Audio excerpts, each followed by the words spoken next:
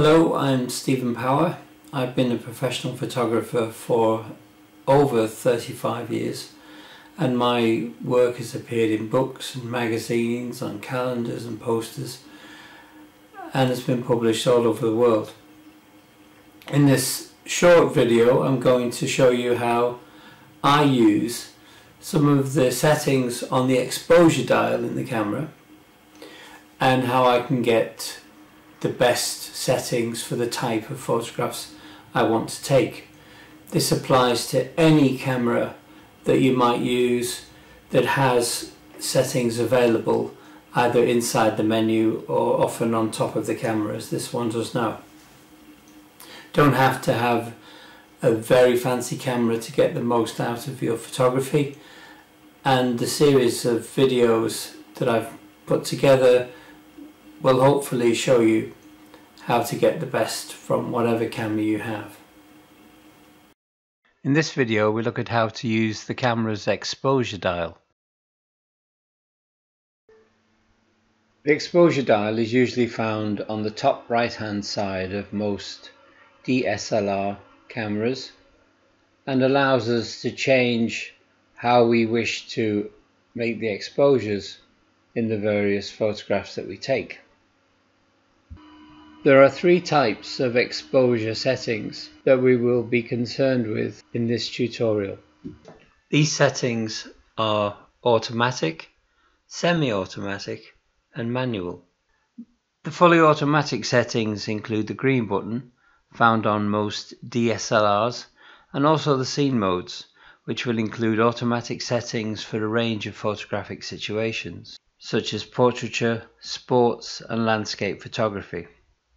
It's often easy to work out what each of these are for from the symbols on the dial, such as a mountain shape for landscapes, a woman's head for portraiture, and a running man for sports. Although these settings can offer a quick and simple way to take a photograph, they have a number of drawbacks. A major issue is that by using a fully automatic mode, you are allowing the camera to do your thinking for you. This takes away the technical and as a result the creative control in the image. As photographers we should be able to know how to control settings such as aperture size, shutter speed and ISO amongst others in order to create the photograph that we want to show to others and not the one that the camera wants to give us. I'll be going into more depth about how to use the exposure triangle in another video. The semi-automatic dial known as TV or S for shutter speed is the dial that we would use when we want to capture fast motion when photographing sports for example. One point to be aware of is that some sports will need faster shutter speeds than others.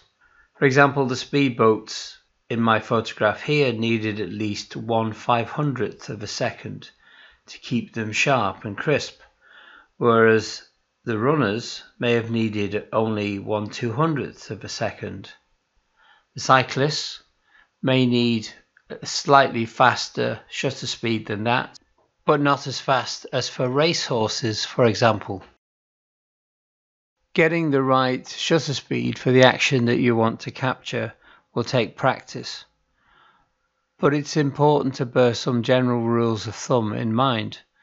For example, action that is moving towards the camera will generally require a slightly slower shutter speed than action that is moving from left to right across the camera. This type of action can also require some advanced techniques such as panning once you set the shutter speed in the camera using the semi-automatic TV or S mode, it will hold that shutter speed until you change it. The camera will then select an appropriate aperture to give a correct exposure. Another very useful semi-automatic exposure mode is the A or sometimes called the AV mode. This stands for aperture priority or aperture value, which basically mean the same thing. The camera will allow you to set the aperture that you need and it will select a shutter speed setting to work with it for a balanced exposure. If you look at the top column of this camera screen you can see the shutter speed which is next to the blue AV window changing as I move the aperture dial. These are the numbers with the F in front of them which are also known as f-stops. Putting the camera in aperture priority mode can be one of the most creative settings in the camera and it has lots of different uses. The main reason for this is that the aperture controls depth of field which can make the image appear to be out of focus in part or in focus across the whole scene. I will be looking at depth of field in greater detail in another video.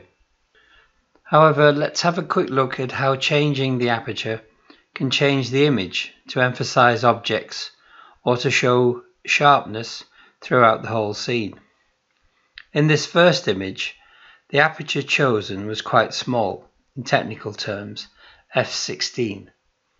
This has produced sharpness from the sign to the house in the background.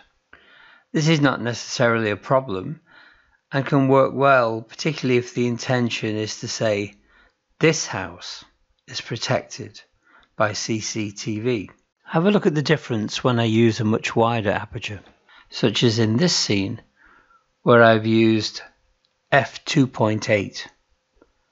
The sign is now isolated from the background, and it really grabs the eye well, without any distracting elements. Portraiture is an area of photography where the wider aperture is used to isolate the subject and prevent the viewer's eye from being distracted by the background. This is my intention in my shot of Tiger Woods at a press conference. Same is true of my image of the fashion model. There was no point in going very small with the aperture as we don't need to include the background. And closer inspection of this image will show that really only her eyes are sharp, although it's still possible to see the hair and makeup. One quick tip, if you are going to focus anywhere on a person's face, it has to be on the eyes. Keep the eyes sharp and the rest of the face will look natural to the viewer. A style of portrait photography that may not benefit from blurring the objects in the background is environmental portraiture. In this type of photography, it can be useful to keep the background in focus, or at least to make it discernible, so that the main subject is put into the context of the surroundings. In this image of the owner of a Seattle magic shop, the background is very sharply focused. The middle aperture setting, in this case f8, allowed for some sharpness to extend behind him, but he's also standing quite close to the shelves, which would make them difficult to blur even with a wider aperture. Being able to change the aperture quickly has a place in many types of photography, including landscapes. In the first image, the wider aperture has left some of the background slightly blurred and put focus on the bush. In the second image, all of the scene from front to back is in focus. As the photographer, deciding which aperture works best for the image is part of the creative process, and ultimately it's your photograph and your decision. The final exposure mode I will look at here is the manual setting. This is usually given the letter M on the exposure dial. I've taught photography students who firmly believe that this is the mode to use as a professional photographer, and to not do so is to not get the most from your camera. They're often quite surprised when I tell them I rarely use it, other than when working with artificial lighting, such as a clip-on speed light attached to the camera, or powerful strobe lighting in the studio. In manual exposure mode, both the shutter speed and the aperture have to be set by the photographer and adjusted by use of a gauge in the viewing screen.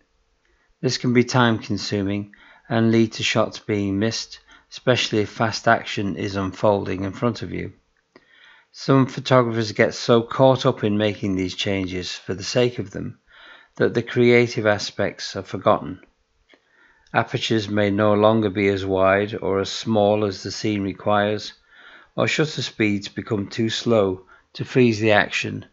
Of course I do use manual exposure mode, but this is often for indoor use when I've predetermined the aperture that I want and I'm adjusting the lighting. As you can see in this image of a very large family group where I'm taking a flash meter reading before I set the exposure in the camera manually. To finish the video I'll give a quick summary of exposure modes. There are three main types of exposure settings. The automatic A button is often green or blue and it gives the camera complete control over the aperture and shutter speed settings. It's great for a quick and easy way to grab a shot, but it doesn't allow for creative control over the image. Semi-automatic settings, A or AV for aperture priority, or TV or S for shutter priority, are probably the most useful. They allow you to get complete control over the image quickly and often with eye-grabbing results. Manual exposure mode requires the photographer to set both the aperture and the shutter speed and adjust them until the exposure is correct. It has a use for more advanced technical work, as when setting up studio lighting, but can be a hindrance for some types of photography. I hope you enjoyed this short video and found it useful. For more information about my work, free videos, and to book a Skype lesson with me, please visit my website adareimages.com or find me on Facebook or Twitter. Enjoy your photography and let me know if I can help with understanding your camera.